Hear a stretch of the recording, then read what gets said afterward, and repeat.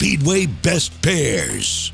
The best pairs with the Danish team, uh, first round is in Toruń. Uh, I'm quite sure, you know, it's going to be a very tense meeting. Denmark is ready prepared. Uh, I still believe we have uh, the strongest guys from Denmark which is competing in this meeting. So watch us, we're going to do our very best to win the first round. I'm sure me and Iversen, we know each other, you know, for, for several years now. Uh, we know the lines, we know the character of each other. A so we're to help each other. Speedway Best Pairs.